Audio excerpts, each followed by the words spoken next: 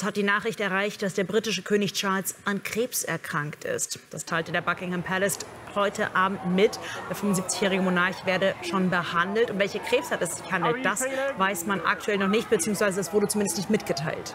Die Erkrankung habe nichts mit der vor kurzem bei Charles erfolgten Behandlung wegen einer vergrößerten Prostata zu tun, heißt es.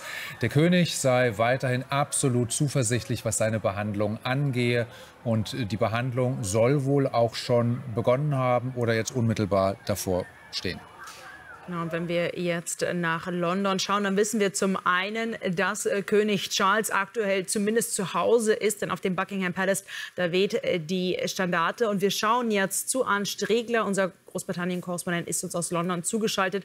Denn Arndt, es gibt dieses Statement, Wissen wir noch mehr? Gibt es jetzt bereits weitere Berichte? Wie reagiert Großbritannien auf solch eine Nachricht? Nun, Großbritannien ist geschockt, muss man ganz eindeutig sagen. Äh, gerade hatte der König ja diese Prostata-Operation, die du gerade schon erwähnt hast, äh, äh, überstanden. Er war auf dem Weg der Besserung, so jedenfalls schien es. Ähm, er ist also aus der Klinik wieder rausgekommen. Alles schien wieder guter Dinge oder alle waren guter Dinge. Und jetzt also heute Abend diese Schockdiagnose. Äh, ich konnte vor rund einer halben Stunde noch einmal mit dem Palast telefonieren. Da wurde mir bestätigt, äh, dass es Krebs ist. Es wurde aber nicht gesagt, um was für eine Krebsform es sich handelt. Ähm, die äh, Therapie vom König Charles hat bereits heute am Montag begonnen, sagte der Palast. Ähm, auch da gibt es keinerlei Anzeichen, ähm, wie diese Therapie aussieht. Wir wissen auch nicht, was für ein Krebs das ist. Wir wissen nicht, in welchem Stadion ist.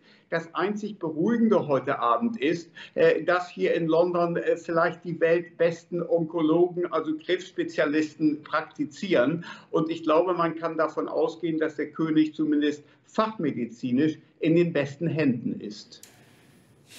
Wie sieht denn jetzt das weitere Vorgehen des Palastes aus? Wer wird da offizielle Aufgaben übernehmen? Normalerweise fällt einem da der Thronfolger ein, Prince William, aber dessen Frau Kate, die ist ja ebenfalls schwer krank. Äh, das ist richtig. Es sind ganz neue Zeiten, die heute Abend hier in Großbritannien auf diese Monarchie, auf diese Königsfamilie zukommen. Ähm, wir wissen, dass äh, Königin Camilla bereit ist, mehr Termine zu machen. Sie wird also innerhalb der nächsten Tagen, innerhalb der nächsten Wochen, vielleicht sogar innerhalb der nächsten Monate mehr und mehr den König selbst vertreten.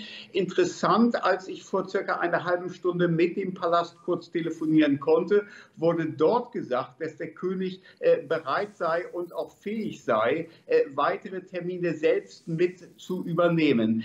Das ist erstmal, würde ich sagen, ein bisschen beruhigend. Es deutet nämlich darauf hin, dass der König nicht ganz so ernst erkrankt äh, sein könnte, wie die Headlines hier erst einmal glauben zu machen scheinen. Äh, wenn man erstmal das Wort Krebsdiagnose bei einem 75-Jährigen hört, dann ist man natürlich erstmal alarmiert. Die Briten heute Abend sind alarmiert. Sie sind auch ein bisschen schockiert, muss man sagen. Man hatte eigentlich gehofft, dass, dass nach diesen jüngsten Hiobsbotschaften Prostata-Operation bei König Charles, dann diese Unterleibsoperation bei Prinzessin Kate, dass danach dieses Königshaus, diese Monarchie, diese Familie erstmal wieder so ein bisschen zur Ruhe kommen würde. Äh, das hat sich nun leider nicht bestätigt. Wir müssen einfach mal abwarten, was innerhalb der nächsten Tage aus dem Palast bekannt wird. Ähm, ich würde aber erst einmal sagen, äh, für alle Monarchisten, für alle Royalisten, ähm, ähm, ich würde einfach sagen, heute Abend zu große Sorgen sollte man sich erstmal nicht machen, äh, denn äh, der König ist, wie gesagt, in guten Händen, in sehr guten fachärztlichen Händen. Und die Tatsache, dass der Palast heute Abend bestätigt hat, er werde weiterhin diverse Termine selbst übernehmen, deutet meiner Ansicht erstmal darauf hin, dass es nicht so dramatisch erst einmal sein kann.